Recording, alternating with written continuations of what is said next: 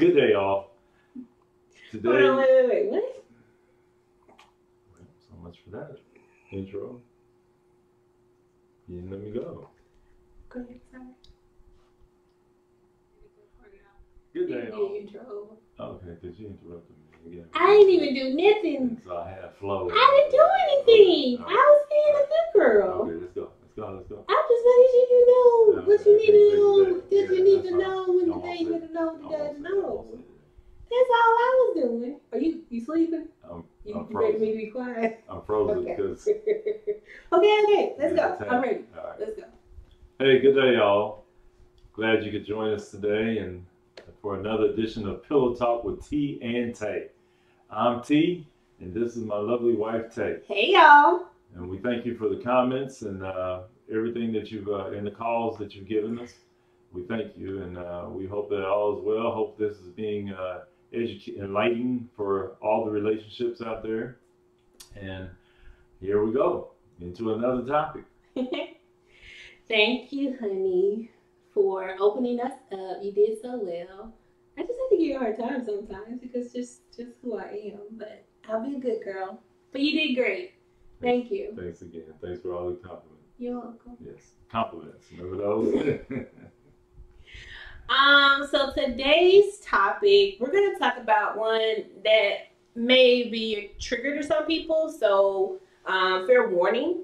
I sit like this today. Oh, I get the hand today. Yeah.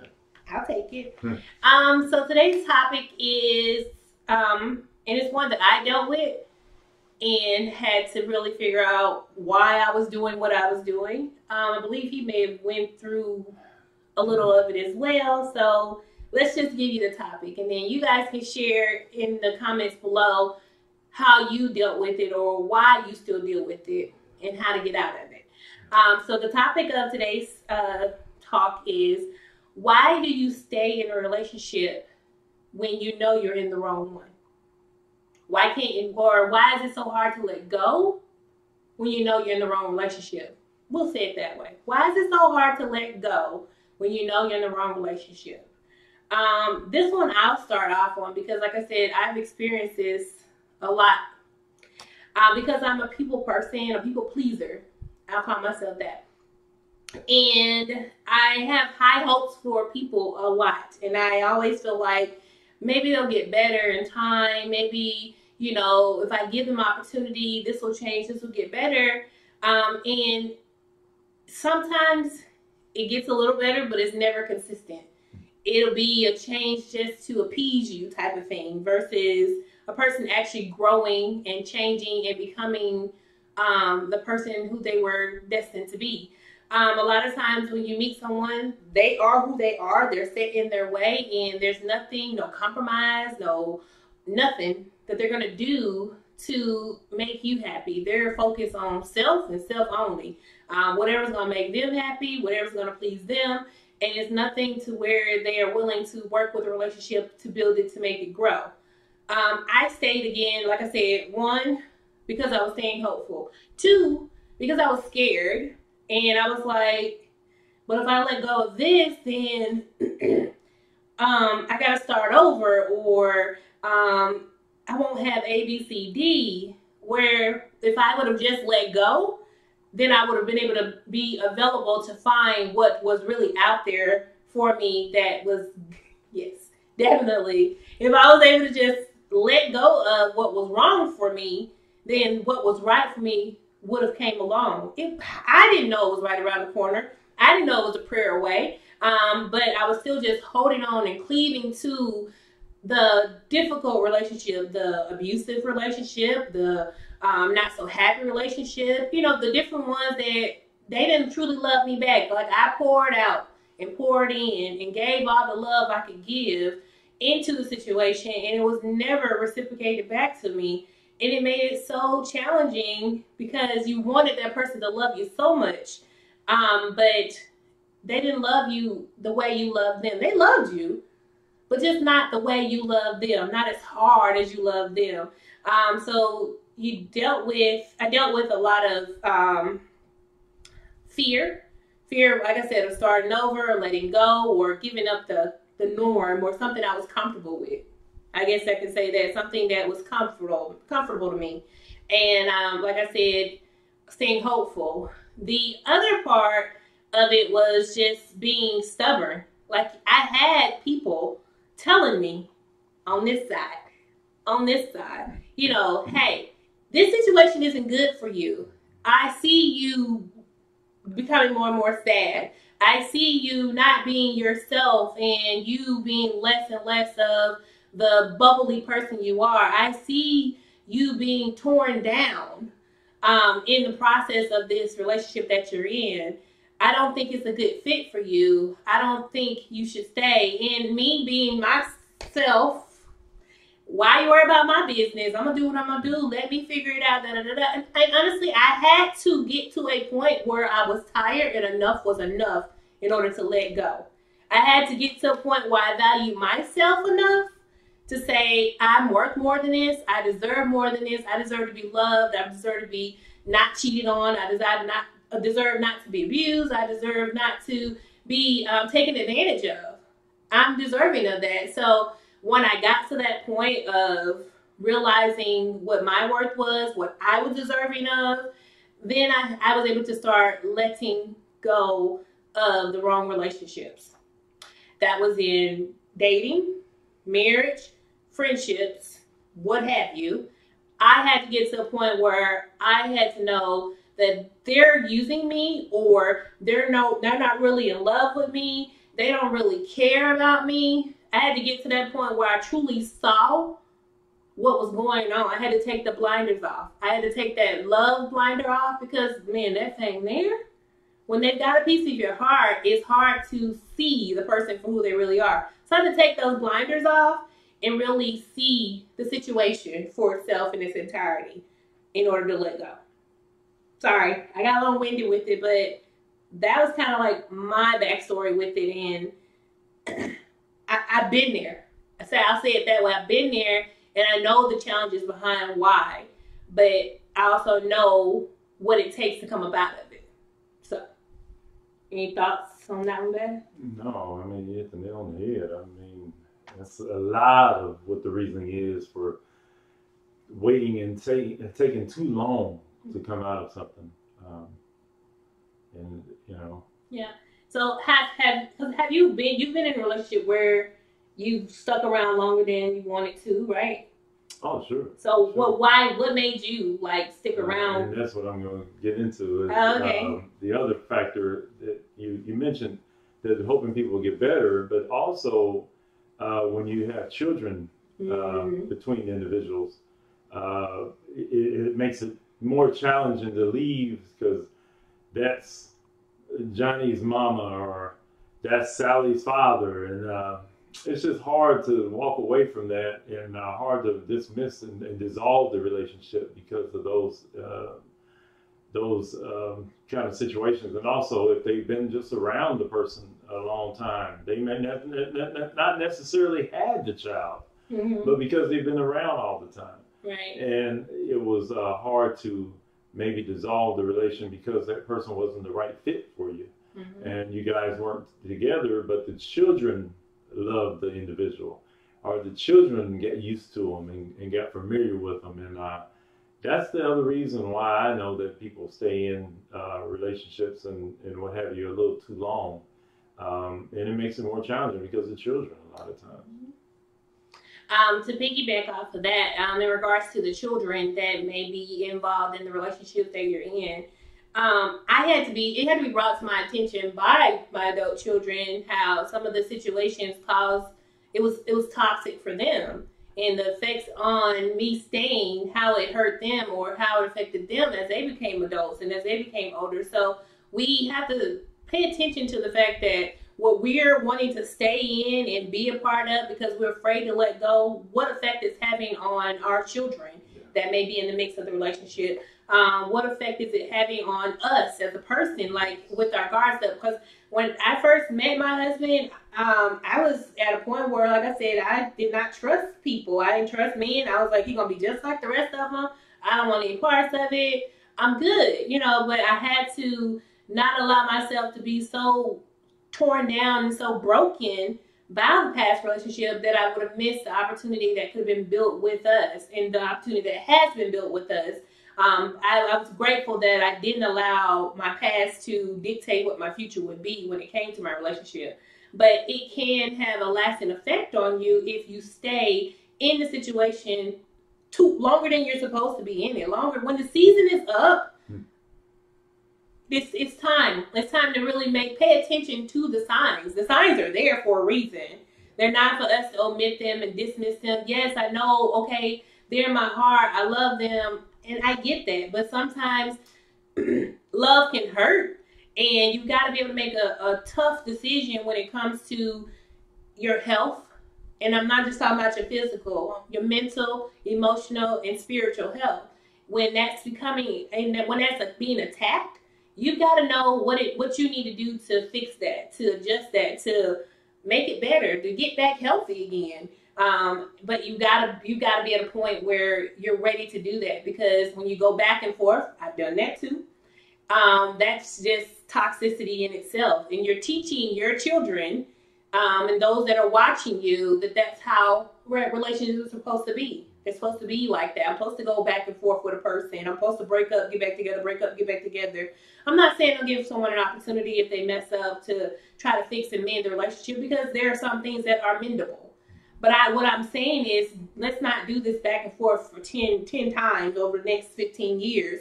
Let and, and realizing, okay, when enough's enough. Let's not. I'm not saying either to you that it's okay to sit and argue every single day. I've been in a relationship where I woke up arguing, I went to bed arguing, and it is draining, draining on your spirit, draining on your emotion, draining on your health. It is unhealthy to be in a relationship where you are going back and forth with a person, having to argue, having to fuss, having to fight. That's not love. It's not. And you got to realize where what what love is and how to how you are supposed to be loved you gotta love yourself first. Once you start loving yourself first, then you know how someone else someone else is supposed to love you back. So true.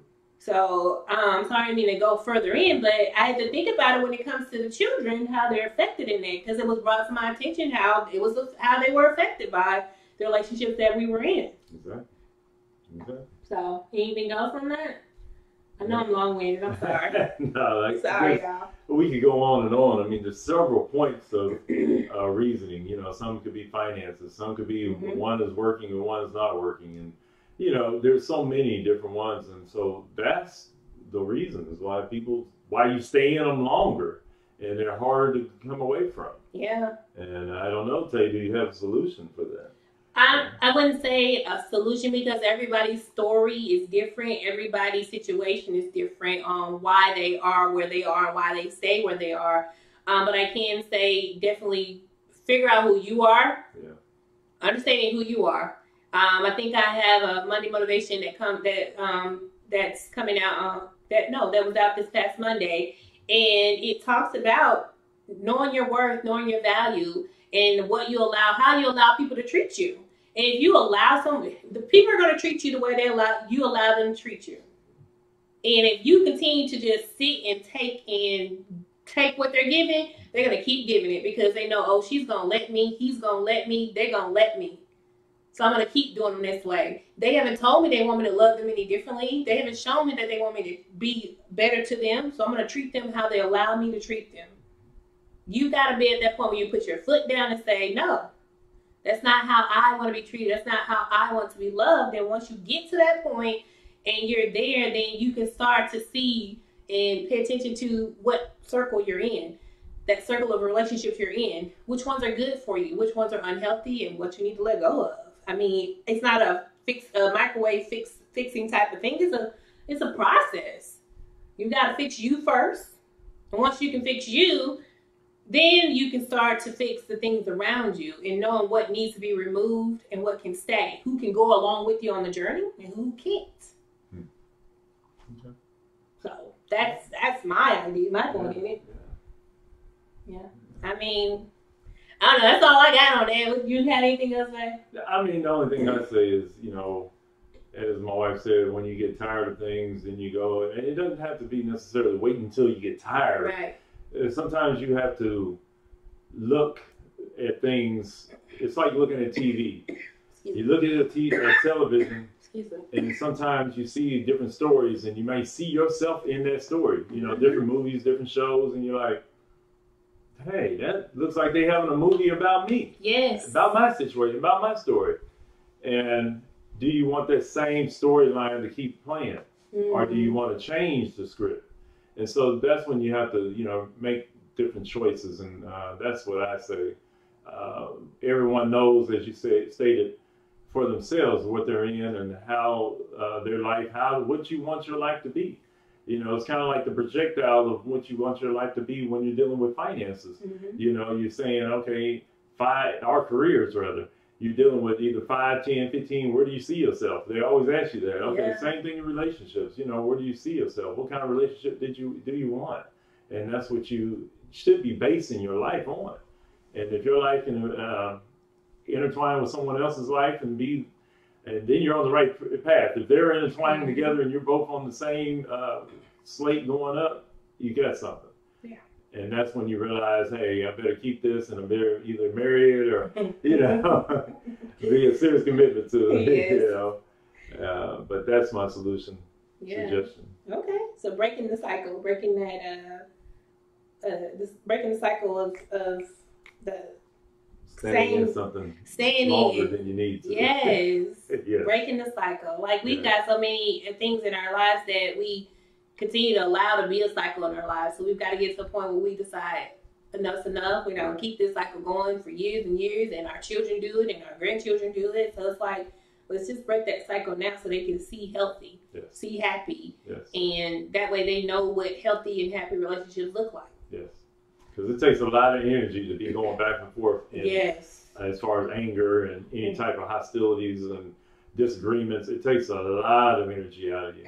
And uh, believe it or not, it takes it's draining the whole household. It, it can be even draining at your job once you go to the job, you know, because you just it's taking so much effort to try to get along with one another. And that's why sometimes you have to bring in therapy. Sometimes you have to bring in uh, as far as joint therapy. That way you can get on the right path together and understand what the flaws are, and you can work on those. And then also understand the uh, the uh, the ones that are not flaws, you know, and keep building on the good stuff. Yeah. Now we aren't saying that you aren't gonna have a disagreement. You aren't gonna, you know, We're not saying combat with your mate or whatever. But I, what, what we are saying is it shouldn't be something that you do every single day. Right. When you wake up, you go to bed. That's all you're doing. Yeah. Um, every single time you look up, you're walking on eggshells because you're afraid to say something because you know it'll turn into an argument or a dispute or a fight word fighting words or maybe physical Yeah. you that's what we're talking about. It's like knowing how to, to know when um, they're not treating you like you should be treated, like you want to be treated. Even when you try talking to them about it, and they, like I say, they do that little shift for just a little bit, just to appease you, and there's no consistency in it. They're not truly caring about how you feel and how you want to be loved, so they're not making any adjustments.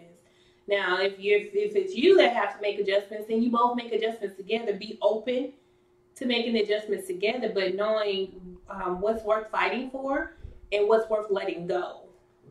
But that's all I got. That's all I have as well. Okay. I mean, you that's it. In, in, You know, don't let me nutshell. call me say, yo. In, in a nutshell. Quit calling me that. All right, that's all we have today. Thank you guys so much for joining us for Pillow Talk with T and Tay. He just be trying to get me and under my skin with that. Um, we will. I know it says that, but that's it feels weird when you call me that. Anywho, thank you guys so much for watching. We hope you join us next week on Pillow Talk with T and Tay. It has been great. Um, it has. Appreciate it.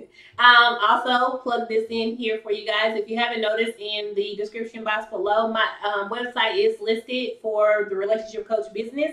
Um, so if you are in need of a relationship coach or someone that can help you um, deal with whatever relationships in life that you have going on, whether it's a dating, whether it's parenting, whether it's trying to find out how to date or work life balance or uh, time management, whatever it is that you may be dealing with, um, definitely check us out. Not gonna go far into that. The website's below. Check it out and let us know if you need any help. All right, that's all I got. It's all good. All right, thanks, y'all. Have a good one. Bye. But yeah. You didn't do the mic check. We, I, we do the mic check. I thought you was wanting to see how loud I was speaking it too. I did. I checked your mic. Okay. Mm. Want to check again? No. I'm gonna check anyway. Mic check, mic check, one two one two, mic check, mic Is check. Is that the voice you're gonna talk to? Yes, it's a voice. I'm always talking at this level. I just want to get you like you got me. I know that. Hater. I always talk at this level. Stop being mean. Oh, yeah. I won't move anymore. I want you to move more. See? Like, act like you like me. No, do it. I love you. Oh, okay. Just checking. Not me on my square now though. Is it broken into squares? They're rectangles. They're not Sometimes you knock squares. me off my square where I was sitting. Oh. Is that what that means? But for me, for my interpretation of what I was saying, Mhm.